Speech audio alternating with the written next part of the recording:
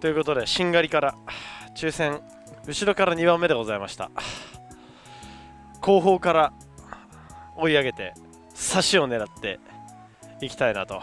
じゃ抽選の時にね、まあ、いつも来てくれる子とかと喋ってたんですけどなんかみんな一昨日ぐらいにバキの万枚動画が上がったところでおはようございます。お願いします。やっぱその動画を見て俺が最近メコメコに負けてるのを当然まあ視聴者の人は知らないじゃないですか。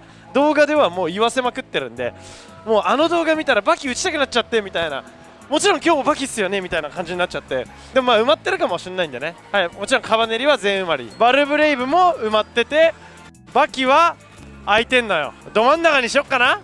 うわじゃあこっちにしよう。あいつらあいつら聞いた？あいつらさバイオが空いてたとか言ってんだけど。怖っ怖っ。めいいいいよ別に。いいよいいよいい全然いい全然いい全然いいよ。知らないよそんな。バイオ怖っ。ということでいただきチャンネルをご覧の皆様おはようございます。サスケでございます。そして大河です。本日は2023年2月26日ということで、はいえー、10連戦私最終日ということで長い戦いがついに今日で幕を下ろすはい、えー、千葉県にございますウエスタン浦安駅前店やってまいりました鬼武者で6つ持ってメコメコに負けたはずですはい本日もねお客さんが多くてはいなんと抽選番号後ろから2番目でございましてまあ、カバネリがやっぱり台数多くてね、一番人気。で、鬼武者も2台しかないんでね、やっぱりすぐ埋まるというところで、バキ。はい、バキ。まあちょっと抽選の時にね、よく来てくれる視聴者の方と話してたら、まあみんな抽選負けて、じゃあもうみんなでバキ選挙しちゃうみたいなことを言って、ついつい自分が言い出しちゃったんで、これ引くに引けねえなということで、バキで、まあ今月めちゃめちゃ負けてるんですけど、まあ、逆にめちゃめちゃ負けてるがゆえの勝負に出なければやっぱリターンもないんで今日はリターン目当てでバキ怖いけど戦う。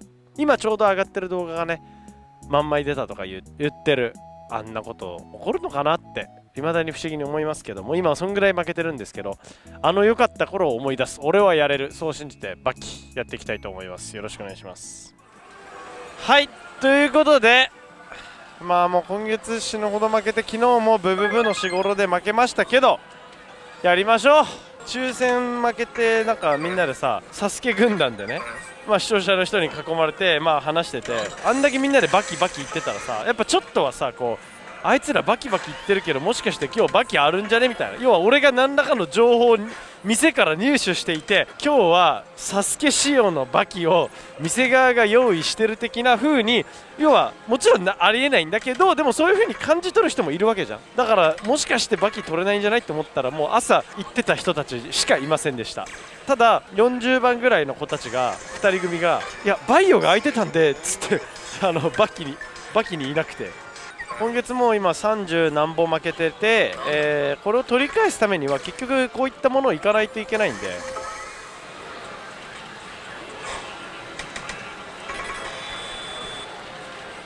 すごいよ。いや1ゲームのズレなんだけど俺が恐れていたことが起きたね。据え置きだね。最後の砦としては1個だけあるんだけど。そう。直撃じゃなければ据え置きだね。やめる。俺は。うん。いや設定じゃないけど据え置きは嫌だ。いいのよ。リセットの設定1だったら打つんだけど。いや据え置きの時点で前日これバキバキアルティメット要は強から通してんのよ。強から通してバキ要は有力感リセットしてるんでまあエンドルフィンがほぼ多分ないんで。まあ有力感リセット時にそのエンドルフィンがあれかもしれないけどしてやめでいいんだけど。でもまだ当たるか分かんないからな。いやああ当たった。わ当たった当たった。待ってこれ直撃だったら今の全言撤回ね。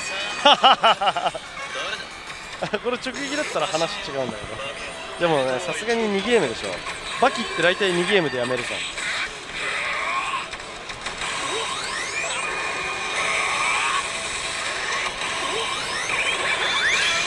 直撃だったら許される。ダメだ。強気だ。お疲れ左ファースト。350枚ね。198から全長は据え置きです。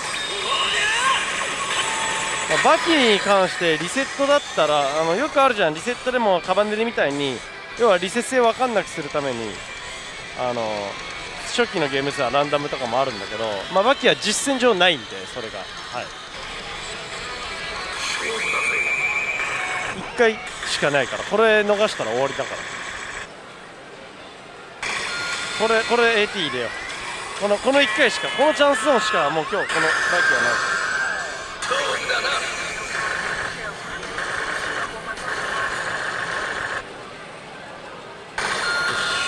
あとあとあと10回ぐらい。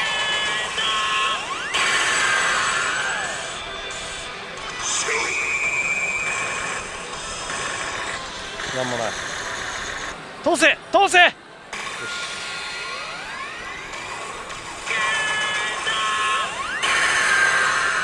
こいつでここを選んで負けてエンドルフィン20たまるの一番キモいから。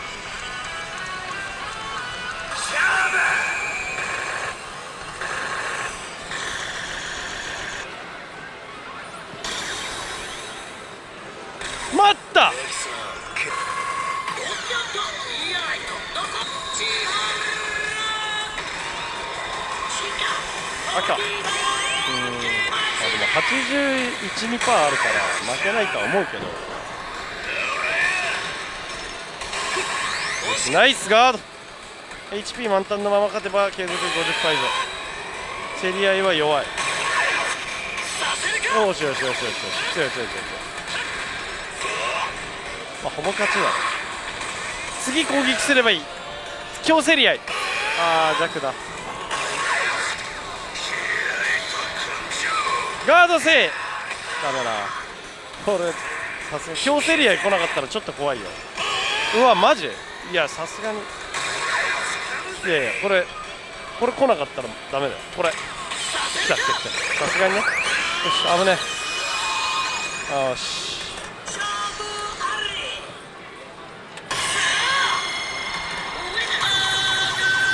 バドルアナスいやバキ、うん、今までの経験上ないなその、うん、据え置きじゃなければ多分この挙動にならないと思います。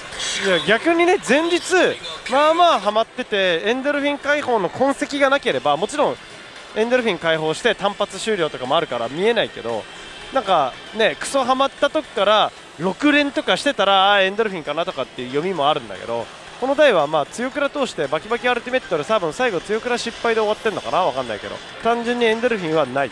まあもうバキバキいって強クラいった時点でエンドルフィンまあ有力感リセット入るんで。どうした親父？今日は等身大だぜ。はじめい！どうした親父？今日は等身大だ50ここに出るよ。で計画ね。無情ってやつね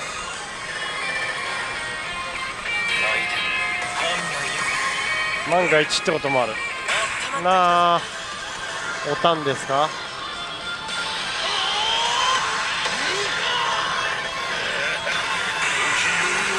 まあこの台は現実ってものを見せてくれるよ。夢と現実は両方見せてくれる。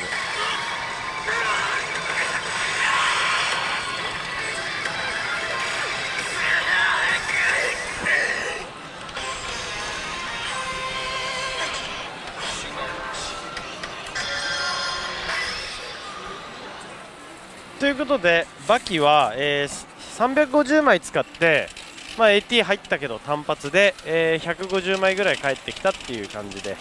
すが、えーまあねこれは別にあえて言いますけど、えーまあおそらくというかまあ据え置きだったんですね。で隣の方もまあ据え置きっぽいって。要は全長ゲーム数でまかなり分かりやすい台なんで。まあ先一応言っとくともしバキリセット時そのゲーム数ぴったりにならないズレが起こることもリセットでねあるっていうんだったらそれは私の知識不足で申し訳ないんですけどもこれまでの実践上、えーそういうことが一度もなかったんでおそらく据え置きだと思うっていうところとあと俺は据え置きを別に悪とは思いません。それはお店の勝手だと思ってるけれども俺は単純に個人的に据え置きっていうものがすごい嫌いなんですよ。例えば設定6の据え置きみたいなもう6であること自体はいいけど俺はリセットが好きなんですよ。特にバキだったら単純にエンドルフィンとかも踏まえてね。はい。なんで俺は据え置きは打たんというのは全視聴者の方そしてホールの方に一応言っておきますね。俺は据え置きは大嫌いなんで打ちません。プライドが許さない設定1でも俺は今日打つって決めてたのに仮にあの台が設定2とか4とか5とか6だったとしても据え置きは打たん。ということで232ゲーム00マイジャグラーやりたいと思います。やっぱ来てくれた人に勝ってほしいもん。サスケの来店行くたびに負けるんだよねってなったら来なくなっちゃって結果的にそれは俺の評価にもつながるから。だからそう俺が据え置き嫌いな理由は例えばリセット恩恵とかっていう話はまあ二の次であって例えばだけどじゃあ10大島がバーッと並んでて据え置きが1台混じってるとその島は全四五郎ですとか半四五郎ですとかっていうなんてイベント的なね据え置きの台を見つけたらその両隣はありますよとかっていう要は意図した据え置きならいいんだけどパチンコで大学を辞めたようなクズとクズ,、まあ、クズとまで言わないというかまあクズですよ。はい。でそれはある程度自覚はしてるけど逆にこのパチンコパチスロに関しては一応まあプライドを持ってやってるって言ったらなんかちょっとさクズがかっこつけやがってって思われるかもしれないけどあこいつは別に据え置きでも関係なく打つやつだって俺はお店にもこの動画を見てる人にも思われたくない。養分打ち真面目に養分打ちするわけよ。俺一時さジャグラーをプロっぽく立ち回りたくてさなんかで見たんだけど iPhone でカメラ構えてで自分の目ではこう今したかなっていう不安になるからでその動画をスローで再生してガックンしてるかしてないかをっていうことをできるんだというのを知ってやっぱジャグラーのガックンって分かりにくいと思ってるからでやったことがあるんだけど何台か。周りから見たらあいつなんかカメラ構えて1ゲーム回して隣の台行ってるって変な目で見られてるなと思ったけど分かっちゃったんだよねその理由が。3台ぐらいやって全部何ゲームか回ってる台だった。朝一何ゲームか回った台でやってることに。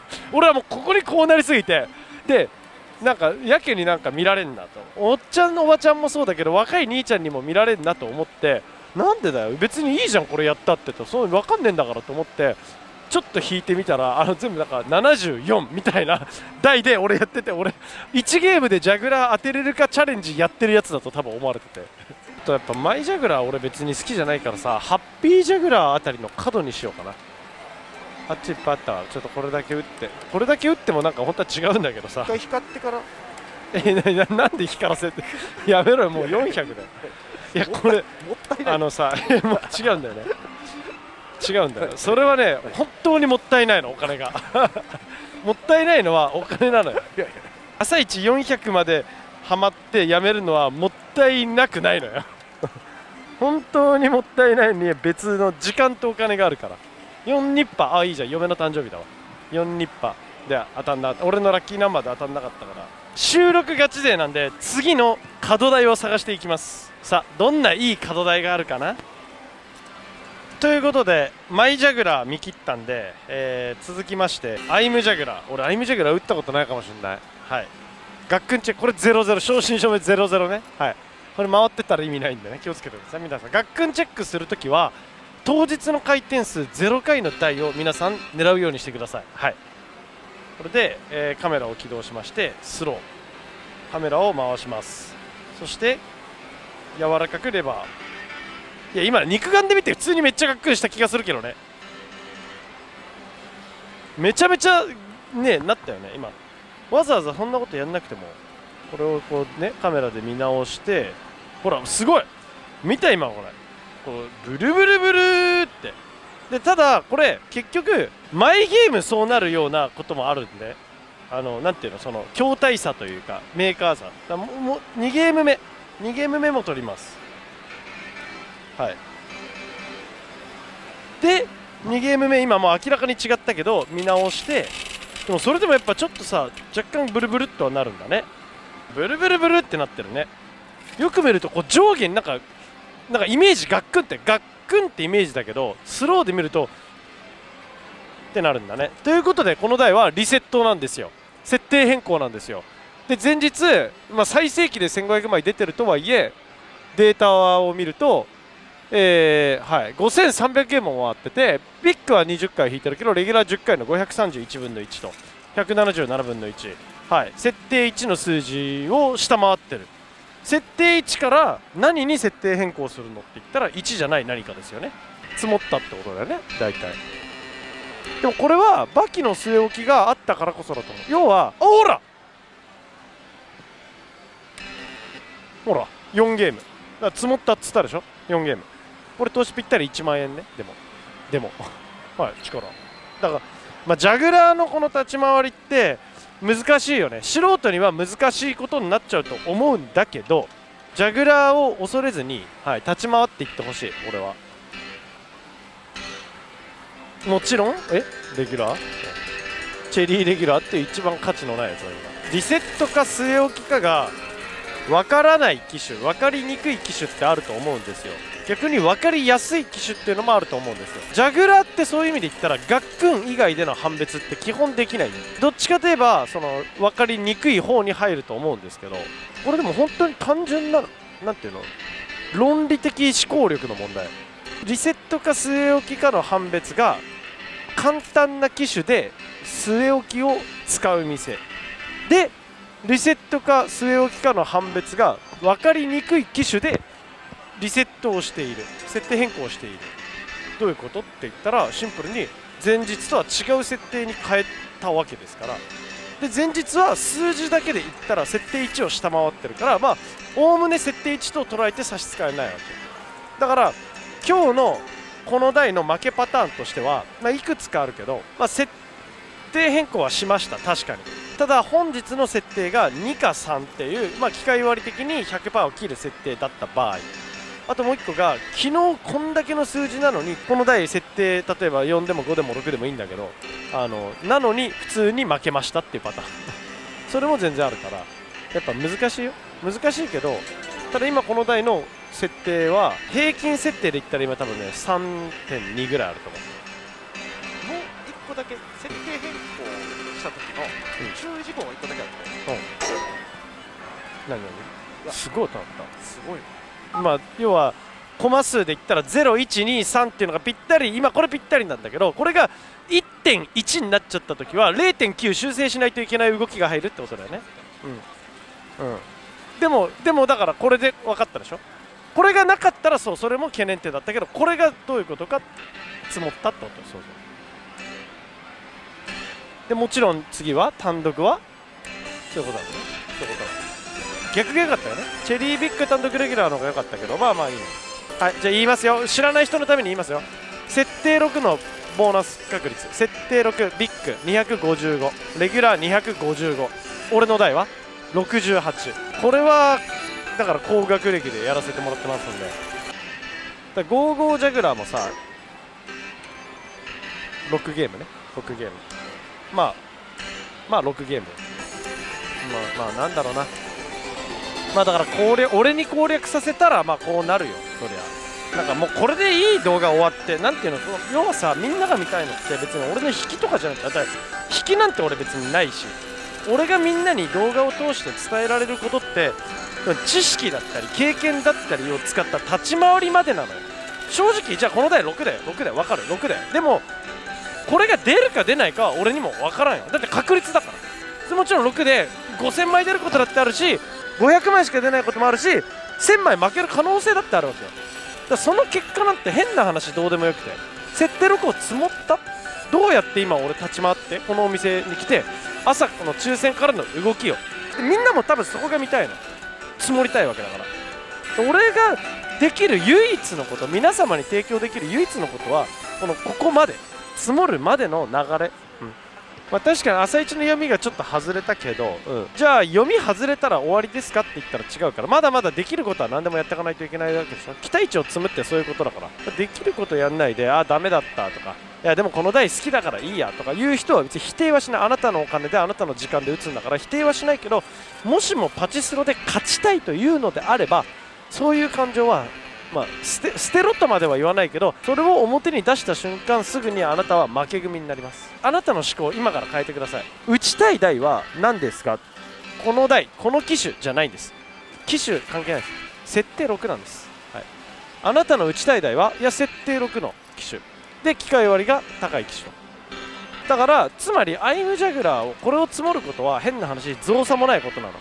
なんだけどそれよりも可能性のあるところに行った後でも要は1時間経ってもこの台にありつけるというそういう読みがあったから俺は違う機種から言ってるわけ。いいえ。そう？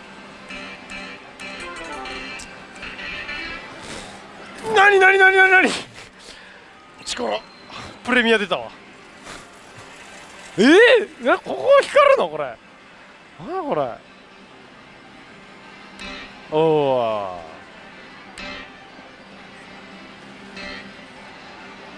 あこの出目今1コマ滑り2コマ滑り1コマ滑りだったからこの制御の場合待って待って全然リーチ目じゃないでしょ？でも確かアイムでしょ？アイムの緑パネルだからでこのパネルの汚れ具合からして製造時期的にあの辺の時期でしょ？第2のあそこのやつでしょ？ってことは1コマ2コマ1コマでこの出目でしょ？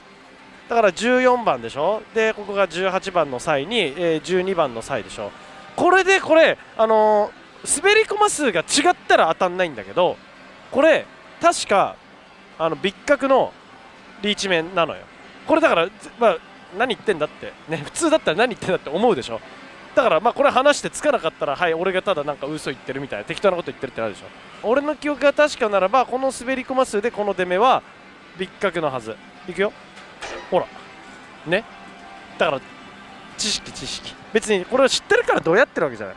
知識。ただ俺がたまたま知ってた。あなたたちは別に知らなかった。別にそこに今の時点では差はあった。知ってるしな。でもこれで今日あなたたち知ったわけじゃないですか。これで別に我々対等な立場なんで、あビッ格って言ったけど本当にビッグかまだ疑ってるよね。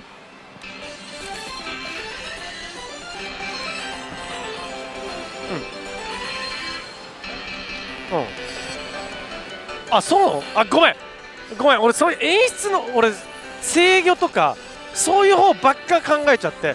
ごめんね。演出とかの方全然頭入ってなかったわ。ごめんごめん。じゃあ見落としてたけどそれはすいません。演者としては失格だよ。失礼しました。ごめん。たまたまじゃあよかったわ。じゃあみんなそっちで気づいてたんだ。ごめんごめん。俺制御の方で見てたから。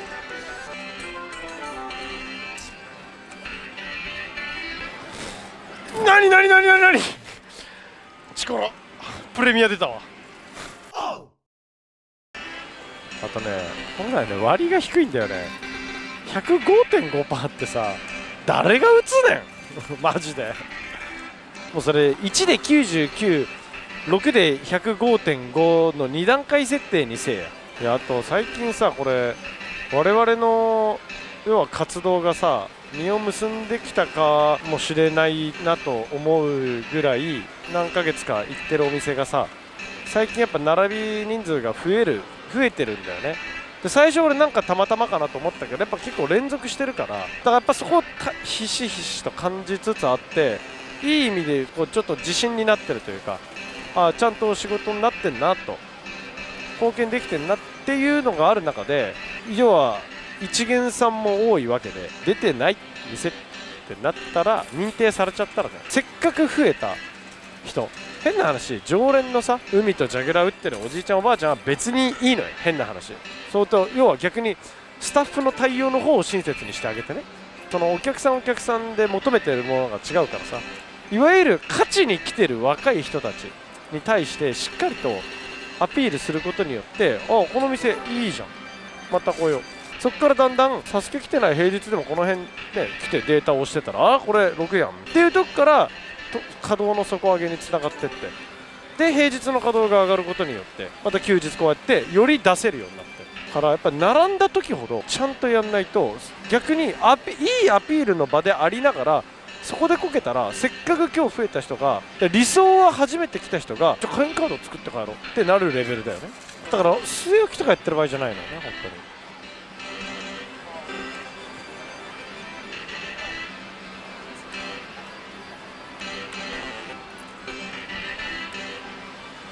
サキチェ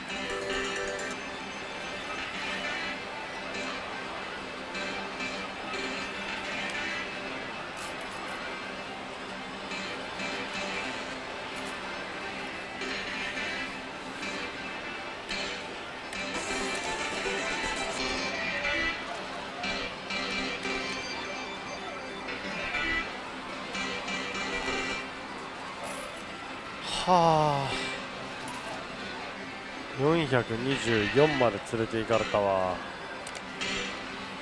チェビ。ということで、えーアイムジャグラーとお別れをして4代目はご飯を食べた午後一発目ユニコーンにしました。ちょっとあるかなと思ったけどまあないよね。ああ。待ってこれ先読みなんだけどえこれ先読みカスタム今これ。入れてから打ってるよね俺。先読みだよこれ。いや先読み先読みいやいやいや先読みよ。いやまあ弱いけどね。これあのいわゆる弱い先読みなんだけどこれもう最悪の2択じゃない？ほら。もう最悪の2択出たわ。レバブル。レバブル。来ない。あっつけ。いやもうバチ弱先読みなんだが。いや待って待って待ってこれも。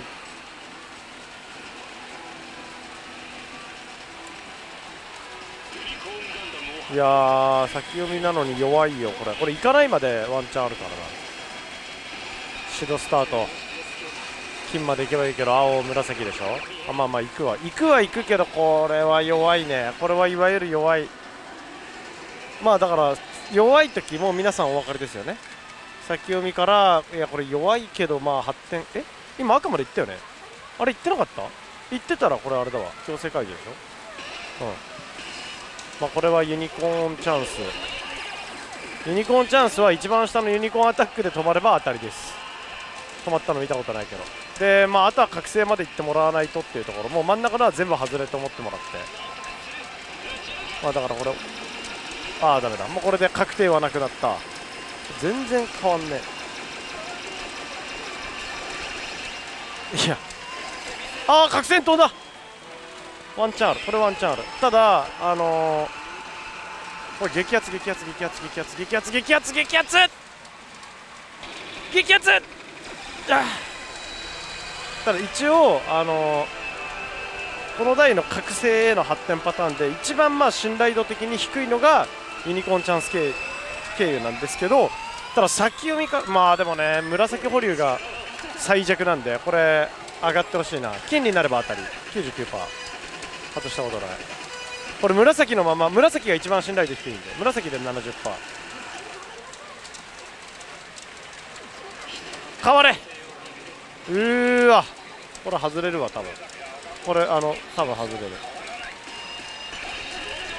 多分まあもちろんこの後次第でもけど保留的には要は覚醒への発展パターンが一番弱くてかつ紫保留も一番低いんで緑で80%で赤でもうちょっとあるのかな。違う赤で80で緑で90%かな。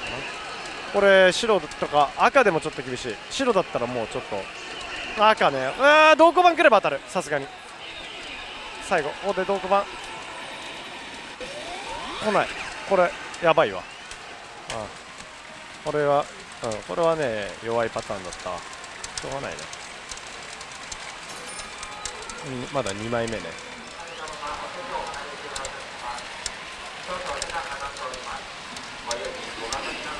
うわ先読みしたよ。またしたんだけどすげえな。300回転でこれで5回目。うーん弱いけど入賞時には何もなかったけど。たいやーでバブルに期待頼むいや弱い。緑か紫ね、まあ、どっちでも同じだ。ここでのレバブル。ここ。ダメ。これ疑似連ね、うん、獣行かなかったらアタックだな。あーということは？これでもいい。こっちでなんだったらもうこれでいいわ。いやー強制解除だ。強制解除また。きついなあーユニコーンチャンスねまた。な王道ルート行ってくんねえなあー一瞬であもう一瞬で2つ割れた。あこれ覚醒いくわ。あ覚醒。これこっからミネバ全回転とかワンチャンあるよ。覚醒から前行った時とりあえずまあこれでまず激アツね。激アツがうわ金だ！金金金金金。ここの通路金だった今。え初めて見た。激アツ。いやいや待って待って。ででこれでこの後スーンでミネバ全回転に行くルートがあるんだけどこのガンダムガンダムの後。えー、ちょっと待って。あと保留紫だけ変わってくれればワンチャンある。これさっきよりなんか金の通路を初めて見たわ。このままミニバ全回転ある。ない。いや保留いや外れんのこれ。まあさっきと正直あの金の通路以外一緒。白いや保留これだから一番当たんない保留だからな。また。い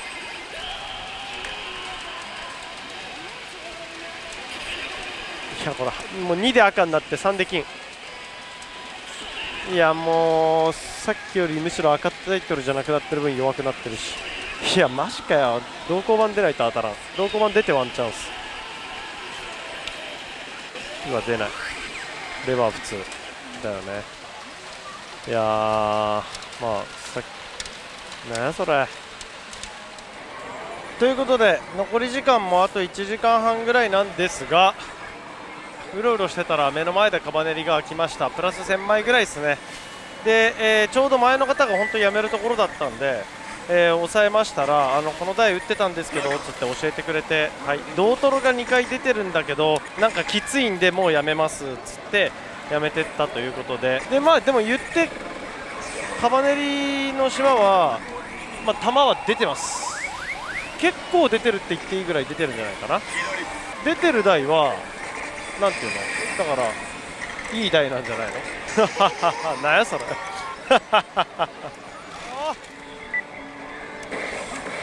ああいたたたたたたたたさようなら。212枚いや0回はやばいって。はノーチャンスだわ。ノーチャン。ゼロは無理。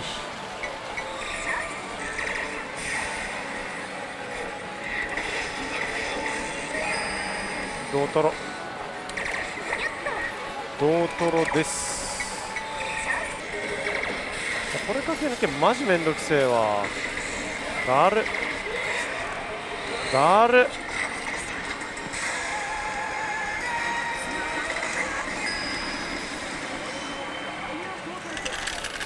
よし。ということで、えー、ただいまの時刻が午後5時前ということで店内状況を見ていきたいんですがまあもうここをバッと見ただけで分かりますね。箱積んでない人がだって今現状で2人。はい。でもうみんな2箱ずつぐらい積んで俺を俺が打ってた台のもう自分の台同トロフィー左同トロフィー右キリントロフィーなんでまあ1とか使わないんでしょうね。でまあ全然多分キリンもあれ6でいいと思いますしはい。あとなんか縦の勇者がなんか出ておりますけど。ああ縦の勇者が1個別積みすごい積んでて。あと鬼武者もねそこに場所変わってるんですけど1台。あこちら角の方ね。わあめっちゃ綺麗なグラフだ。まあただやっぱだからカバネリプラス6.5っていう感じでしょ。カバネリは本当多分全4頃あっても全然いい。ということで10連戦これにて終了でございます。自分お疲れ。はい。ということで本日ウエスタン浦安駅前店でやってまいりましたけれどもバキマイジャグアイジャグユニコーンカバネリというねはいムーブによって、えー、負けましたけれども、まあ、バキはねちょい負け。でマイジャグは角台っていうだけの理由で230ゲームノーボーナスの台を追加で200ゲーム打ってまあ、ないよねってなってアイムジャグラーはいいところだけ打ってうまいことね、まあ、ちょっとプラって。ユニコーンね300何回転ぐらいで先読みが7回来たのかな。全部外れましたけど。でしたらちょうどカバネリが空いたんで、まあ、残り時間短かったですけど、まあ、同トロフィー2回出てるっていうことで、まあ、プラスの台で座ったらめちゃめちゃ、まあ、引きが強かったんでしょ？う、まあ、設定も多分それなりにはあったかもわかんないですけどね。全部合わせて投資が、えー、2万7000円。回収218枚ということでまあ23負けぐらいですか？あまあ昨日7万2000円負けて一昨日も7万2000円負けてるんでそう考えたらそんな負けてないけどでも普通に考えたらまだ5時前でさ負けてるよねっていう。なんかちょっと感覚麻痺しちゃうよね。まあカバネリは強かった本当に。みんな出てたしはい。もう俺も一時出てたし。まあ明日休みなんでリフレッシュしようと思います。もうこの負けのなんか気持ち悪い感じが全部抜けれたらいいな。俺の時間で言う2月のことですけれども動画だけで、え50万ぐらい負けてるんですよ。負けてすいませんって別にあなたたちのために勝ってる負けてるじゃないんですいませんとは思わないですけどむしむしろまあこんな負けてる動画でもねここまでご覧いただいて本当にありがとうございますと。ただこういう言い方しちゃあれですけどその代わりその前3ヶ月ぐらいクソほど出してる動画見たでしょ？でもまあ逆にこれがスロッターの現実ですよ。真実ですよ。あんなにずっと勝ち続けられねえなと。スマスラ相性良すぎだろって今ちょうどね数日前に上がったバキで万枚出した動画のコメントはマジでサスケはバキ強すぎとかブブブも出しすぎとかさスマスラ相性良すぎやんってめっちゃ称賛というかコメント来てるけどまあこんなもんです。はい俺なんてこんなもんです。この動画がちょうど上がってるぐらいかな。